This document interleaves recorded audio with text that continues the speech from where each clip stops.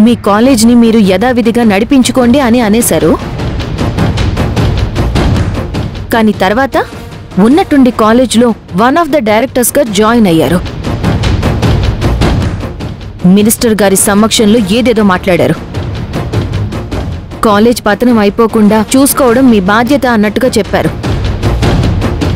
అంటే ఈరోజు బాధ్యత పేరుతో అన్ని మీ చేతుల్లోకి తీసుకుని తర్వాత కాలేజ్ని కూడా మీ చేతుల్లోకి తీసుకోవాలనుకుంటున్నారా? సారీ మేడం మీరు నన్ను తప్పుగా అర్థం చేసుకున్నట్టున్నారు. నిజంగానే కాలేజ్ని నా చేతుల్లోకి తీసుకోవాలనే ఉద్దేశం నాకుంటే అది ఎప్పుడో చేసేవాణ్ణి. అంతేగాని ఇంత దూరం వచ్చేవాణ్ణి కాదు. ఇంత టైం కూడా వేస్ట్ చేసేవాణ్ణి కాదు. అయినా ఇప్పుడు అవన్నీ డిస్కస్ చేయాల్సిన అవసరం లేదండి. మీరు చాలా తొందరగా నాతో రావాలి. చూడండి సాయం చేసిన వాళ్ళు గాయం చేయరని గ్యారంటీ లేదు. మీరు ఏ పర్పస్తో తీసుకెళ్తున్నారో ఎందుకు రమ్మంటున్నారో ఎక్కడికి రమ్మంటున్నారో తెలియకుండా ఎలా వస్తాను?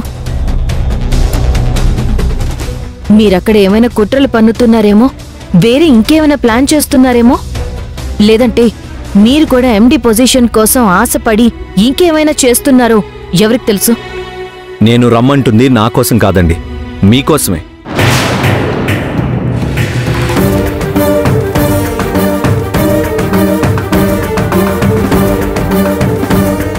నా కోసమా?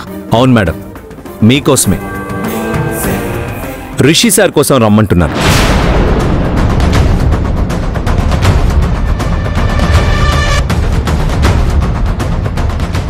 రండి మేడం. రిషి సార్ పేరు చెప్పి నన్ను కన్విన్స్ చేయాలనుకుంటున్నారా? సారు చాలా మంచివారండి.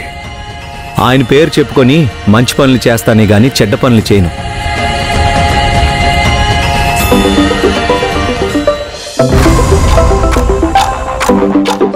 నేను చెప్తే నమ్మడం లేదు కదా? కనీసం ఇది చూసైనా వస్తారా?